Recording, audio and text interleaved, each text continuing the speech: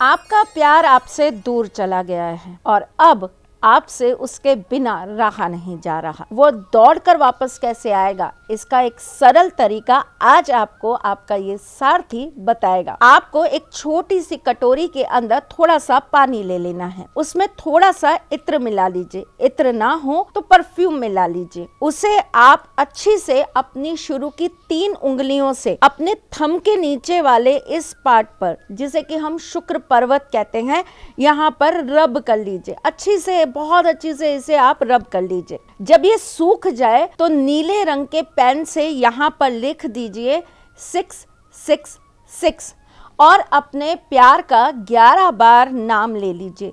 देखिएगा, जल्द से जल्द उसका आपके पास कॉल ज़रूर आएगा। चेक करिए, कहीं आ तो नहीं रहा। चलिए, आएगा तो हमें ज़रूर बताइएगा। मैं फिर आऊँगी।